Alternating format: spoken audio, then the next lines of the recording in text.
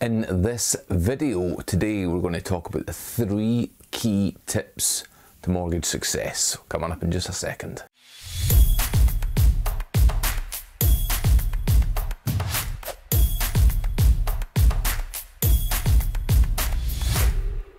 So, you're looking to get a mortgage. There are three key things you're going to need to know for the future. If you get these three key things right, I guarantee you will be able to get a mortgage. Okay, so here we go. Thing number one, and without stating the obvious, it's income.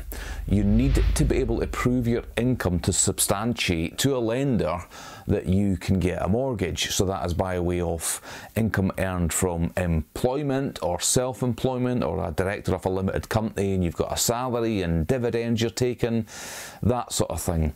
So it's absolutely vitally important that you have an income, you and or your partner have an income to substantiate the level and size of mortgage that you are trying to get. So thing number one is absolutely income. That is the first key element. Key element number two is having a deposit available to put down for this mortgage. So typically you need a deposit of 5%. Some lenders will need 10% and some even more depending on your circumstances.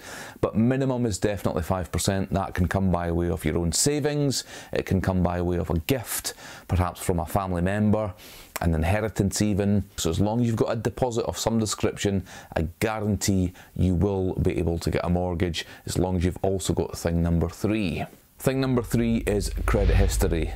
If your history is completely smashed to smithereens because you took out credit cards and never paid them, or you never paid your overdraft back, or you bumped a mobile phone company or an electricity company, it's going to become extremely difficult to get a mortgage if you've got a good, clean credit history, you've not had any problems in the past, then getting a mortgage with a tiny deposit of 5% is absolutely possible. But if you've had problems in the past, you might be able to get a mortgage, but you might need a bigger deposit. So it's a very short and sweet video for today's Bearded Broker. I always speak to clients about these three key elements. The first things that I like to know is what's your income, what size of deposit are you going to have available, and what is the state of your credit history.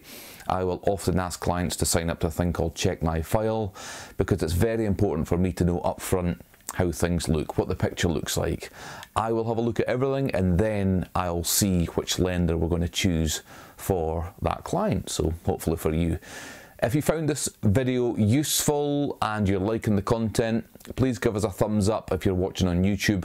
Comment below if you've got any questions and we'll see you in the next video. So it's a Bearded Broker from the Stisi Group. It's been great speaking to you again. I'll speak to you soon. Thanks very much.